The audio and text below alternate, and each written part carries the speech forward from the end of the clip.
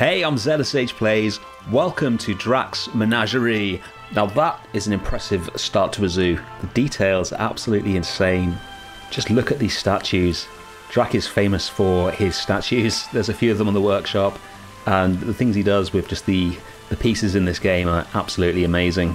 We are looking at a classic zoo here. This is a recreation of the Tierpark Hagenbeck in Germany, which is one of the, well, in fact, no, it was the first zoo to display animals in natural looking surroundings. Uh, they were definitely not natural surroundings, but compared to the cages that all animals had been in beforehand, it was pretty impressive for the time. And this zoo is equally as impressive.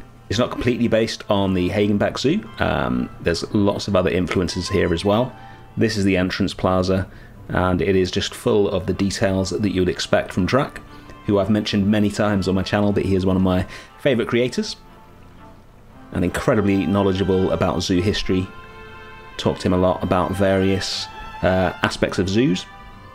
Very useful man to know. Look at these tables. Tables and chairs are crazy. We've got all sorts of things in this entrance before we get into the zoo proper. Got the Cafe Carlos, which, I mean, wow, what is going on here? Look at all this. It's so intricate. His zoos are always full of amazing pieces which you look at and think, I don't remember that, and it's because he's just made it himself.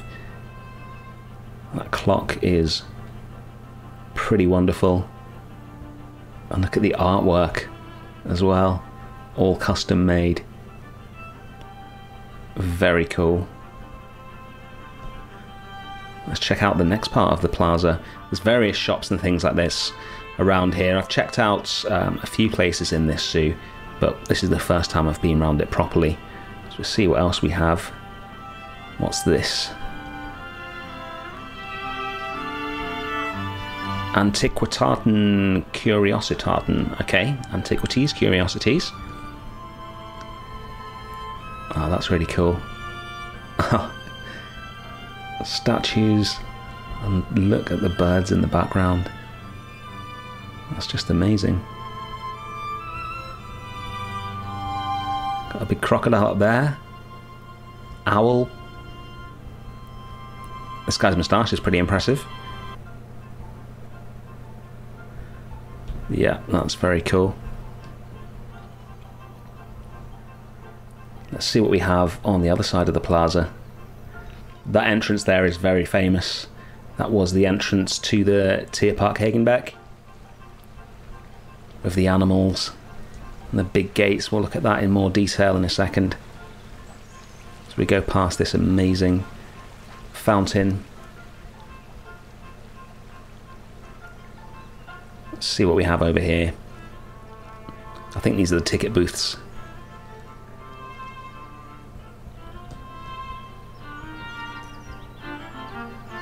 Little animal drawings everywhere. I think Just Goron did those. There are some workshop items in this zoo. I don't have a complete list or anything, but when I recognise them, I'll let you know. These elephant heads. That's brilliant. Let's head on in to the first habitat in the zoo.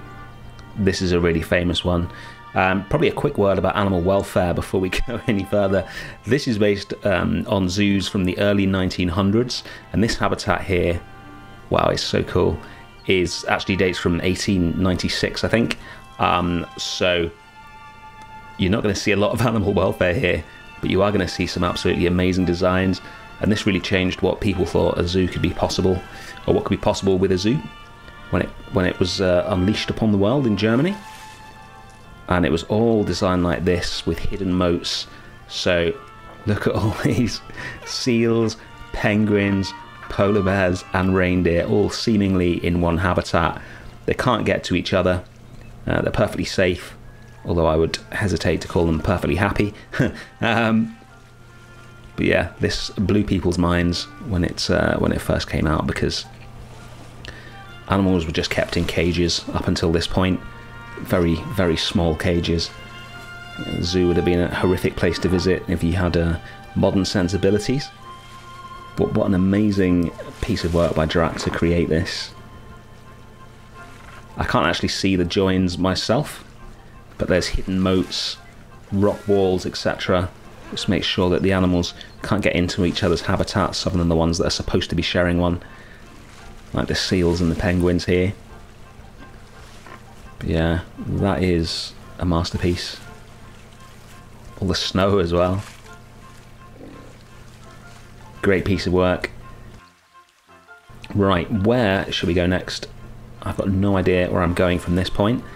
I've been flying around the zoo, saying wow a lot and um, filming some cinematics, but I've not actually walked around it yet. Looks like there's a path down here. Uh, we've got a big old building in the background there. And then some animals here. Look like um, pronghorns, I think. And yeah, this must be a North American display. Got some buffalo as well. Uh, I've done everything I can with... Oh, hello. this is really cool. Little prairie dogs and beavers. Yeah, I've done everything I can with the frame rate in terms of this zoo. I've got rid of any extra animals I deemed unnecessary. There are no guests. Turned off climbing. Deleted any workshop items left lying about. This is this is as smooth as it's going to be. I think I'm going to try and turn off the smooth camera. That might actually make things a bit better. Movement's less smooth, but I feel like the frames are are improved. We'll keep it like this from now on. Oh wow, look at that. Big sort of gothic building in the background there. I don't know which way to go. Oh, a bridge. I like a bridge. Let's go up here.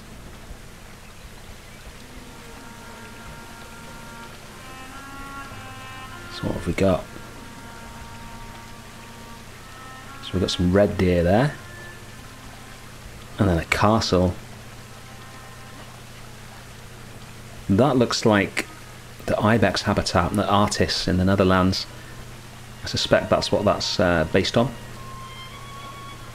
some more architecture. I love the different historical architectural styles here. We've got some Balinese looking architecture in the background there. We've got medieval European architecture in the foreground. And we've got this more naturalistic. Wow. Those are some big lads. And this is something that would have been enormously impressive uh, back in the late 1800s, early 1900s when this zoo first opened. The ability to see bears like this with no barriers between you and the bear, no bars.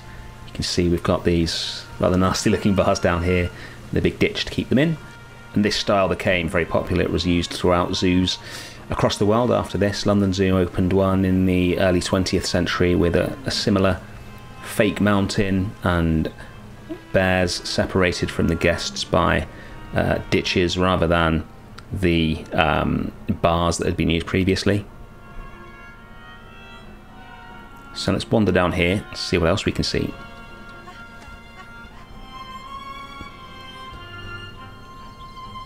There's a lot going on here. We've got deer over here. Here we go, as a sign. Uh, Berlenschlucht Hirschgarten. If only I spoke German. I would be able to understand what that meant. Um, oh, okay. We've got like a seabird display here with some of Drac's um, uh, birds bird props, I think he calls them, which from a distance work really nicely. Oh, look at the puffins up there. That's really cool. Some more along here. And then this very cool looking building here, next to some, oh, a little Australian area. Wallabies and emu. Okay, so we're back where we started really. Let's take this path down here, and see where this leads us. Nice old-fashioned sort of Victorian looking aviary over there. And this little rotunda, I think it's called. Oh, just a nice little spot to uh, have a croissant. what more could you want? A view of a outback area and a croissant. Oh wow, look at this. This is another famous building Look at that hippo. This I forget which zoo this is in. Um, it's not a Tiergarten Hagenbeck, I think. Um, might be another Dutch zoo. But yeah, this Egyptian temple. Seen a few people build this in Planet Zoo. And It looks like it takes a lot of building. the decorations on there, the flamingos. That's really cool. So this presumably is an African house. Hence the Egyptian theming. Look at those benches. Oh, that's great. Wow. I love making statues out of the in-game statues, but Drac takes it to another level. That is just amazing. What have we got in here? This looks like the indoor area for a, a larger outdoor habitat, maybe the hippo one that we saw earlier. Yeah, with the, uh, look at the lettuce leaves. Yeah, presumably that's the indoor for the hippos. Ooh, hello. Who are you? Okay, we've got a uh, scimitar horned oryx in here. Let's go outside and take a look at the hippo. Oh, that topiary is amazing. You do need to bring a thesaurus to any attempt to make a video of one of zoos so you can uh, so you don't run out of words. Uh, I've forgotten mine, but I'll do my best. that water looks uh, appetizing. This guy does not look like somebody you want to mess about with. Let's continue. Got some little aviaries here. With oh wow, squirrel. I think that's a uh, is it Prevost squirrel? Giant squirrel. That's really cool. I don't know how he makes those prop animals. It's pretty crazy. I've got a pretty hefty looking moose over here.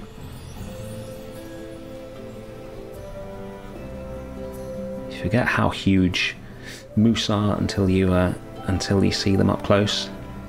There's another one over there.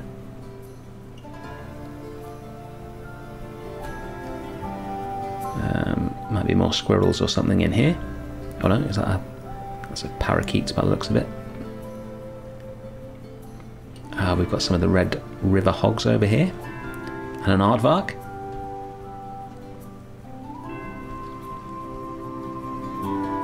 Pretty sizable habitat for them.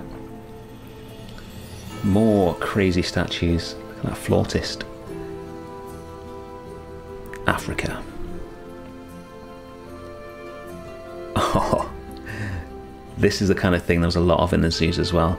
These style of statues where gorillas are abducting women and lions are fighting tigers, and all that kind of stuff you'd never see in a zoo these days. Oh, we've even got an aquarium here. Oh, wow. That is insane. How? I have no idea how he's done that. Look at the detail, the hair, the face. This is not a billboard.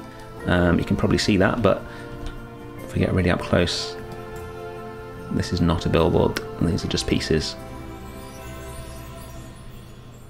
That really is amazing. This takes us around to another African exhibit here. Got some gemsbok, zebra.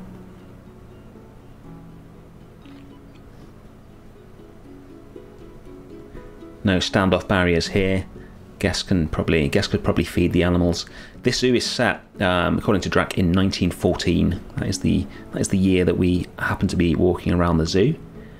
Um, so yeah, they guests would still definitely have been feeding animals back then. So no need to keep them away from them. Apart from the obvious. this is another beautiful habitat. Look at the background there. This is one of my favourite things about Planet Zoo the ability to virtually visit zoos like this. Obviously, you wouldn't really want to go to one of these in real life because of the horrific uh, animal welfare, but the zoos themselves are so beautiful and the um, the vision and the effect that they had on zoos now builds like this were very influential nowadays obviously zoos try to combine making it look like a natural environment with also making sure that the animals have all the space and the enrichment that they need. Um, but this was an important step to getting to the stage where we're at now. You wouldn't have a, you know, San Diego Zoo or Highland Wildlife Park or Chester Zoo without zoos like this existing first of all. Prior to this, um, yeah, just rows of tiny little cages with uh, very sad animals cramped into them. So this would have been less of a step up from the for the animals than it was for the guests, but important nonetheless. Let's head on over here to this big structure. guessing this is an aviary of some sort. Oh, I can see a cassowary already. Oh, it's like a theatre display for them.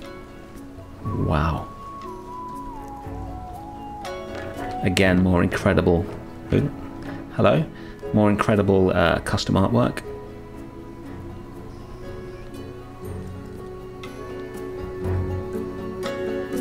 We need to go to that building at some point as well, but we'll see where this path takes us. Oh, this is enormous. I'm assuming this is based on the Palm House at Kew Gardens here in England. Um, but there were a few of these built around that uh, kind of time, so it might not be that one in particular. I'd have to ask Drac. Got some statues around here. I love this. We've got a sort of prehistoric display. Like a plesiosaur or something like that. Maybe some ichthyosaurs. That's really cool. Something else you would have seen back then. You can still see in Crystal Palace in London today. Wow, that's an entrance. Let's go through the curtain and see what's in here. Oh, it's a bat house. Look at these roots, what are they made from? What is that? Okay, I genuinely don't know what that... Oh, is that an upside down tree? So clever. See myself stealing that idea uh, very shortly for the African area in San Bernardino Zoo. And then we've got a lemur walkthrough. This is very cute. I wonder if they had walkthroughs back then. I'm assuming they did. Um, I thought they were a more modern invention, but I mean, there's nothing technically to stop me from doing a walkthrough in the late 1800s. I just wasn't aware that they'd done it, but that's really cool. More aviaries here with some pheasants. Yeah, let's continue around here and see what we find. Okay, next up is this beautiful little planted area, this rose archway. Uh, a water feature here, a little seating area there. And this loops us back round close to where we started, I think. Let's take this path. Let's have a look. Yep, that's uh, that's a pretty sizable building, all right. Has it got a huge water feature here? That really is beautiful. Another amazing statue here. Baron von Drac mit Liebling Galoven. Ah, uh, presume that means lion. Just casually patting his lion's head. Nice to see Drac making an appearance in the video there. Let's go up to this enormous building. I'm not actually sure what building this is based on. I'd have to ask Drac for that. Maybe he'll let us know in the comments. We've got some more amazing statues here. This is what I was talking about bears attacking lions and snakes attacking crocodiles. oh, God, how does he do this stuff? Wow. Let's go into this building. I have flown into here um, when I was filming the cinematics, and there is some amazing stuff in here. So, first off, we've got this Titanarum room intricate patterns all the way around the walls, more statues, uh, lots of vending machines. I'm not sure what they're doing here in 1940.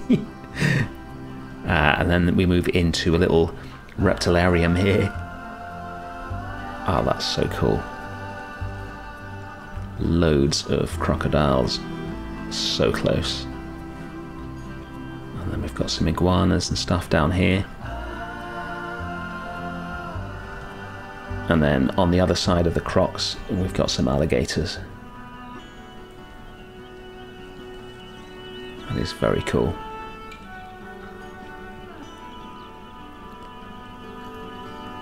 So that's one uh, sort of wing of the building. There's nothing in the other wing as of yet. We've got another beautiful building here to check out. Got some outdoor cages here. Ah, oh, for macaques.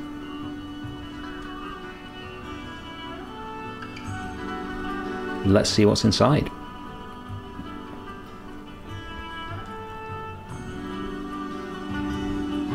It's very impressive. Alright, so inside we have ah some custom little uh, marmosets, I think. Yeah, wow. Detail on this is just crazy. And then outside, we've got some mandrills. In rather a sad looking little cage. What a view.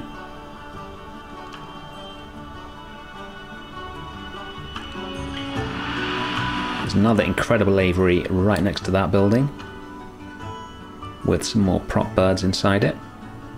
And that aviary leads us on to, and uh, you can probably hear them uh, display for wolves here, which is part of this really big North American area we caught a glimpse of earlier. There they are. Behind the walls, we've got something interesting, which is um, a set of habitats for different dog breeds, which apparently is something they used to have in zoos back then. Um, so we've got some dingoes in here. I imagine they would have had, you know, German shepherds and all sorts of different types of dogs. And in the middle here, we have a thylacine, which is there to demonstrate convergent evolution, basically. Not actually a, uh, a dog, of course, but very similar to a, uh, a very large dog due to its similar lifestyle. But time now to visit one of the coolest buildings in the zoo. I absolutely love this. I've been looking at shots of this from Drac on Discord for a while now. It is the Natural History Museum. Got an amazing skull up there. And then in here, this. It's so cool. Look at the roof. How does he do this? Giant family tree of life up there. And then all these dinosaurs. These were mostly made by um, Carlos, another amazing creator uh, in collaboration with Drac. I think Drac gave him some info and he did most of the building. But yeah, it really is absolutely amazing. These spiral staircases as well.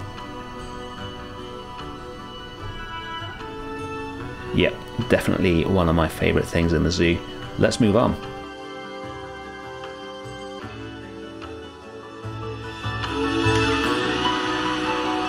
So, how's this review? This is the uh, mixed Siamang and Flamingo habitat, complete with pirate ship. Because, of course, there's a pirate ship here. Amazing. Got some slightly more modern looking aviaries in the background there as well. But we next are going to go to this incredible elephant house. I think this is from Berlin Zoo, if I am correct look at the size of it. But yeah, the work on this is just amazing. Might change the time of day, get a little more light on it. There we go. Absolutely exquisite. That ruined temple away up in the uh, distance there. It's an absolutely incredible set of temples over here. I don't know if they're just for background or if it just wasn't completed. Drac builds everything on a laptop. I think his zoos often just get to the point where they're so intricate, powerful as his laptop is, it can't handle it anymore, and uh, he just has to stop. Wow, that is quite a tiger habitat.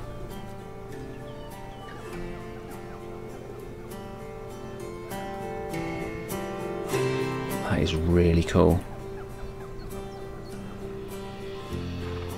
Oh, looks like we've got all the big cats in here.